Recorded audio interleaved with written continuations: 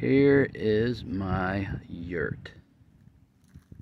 It's not totally ready yet. I could probably camp in it, but I have to do things like I have to tighten up the sides, and there's some sagging in the canvas, tighten up a little. Here it is. Whoop, sides come up. Have to address that. I need to drill this door lock a little better. I have a lock in there.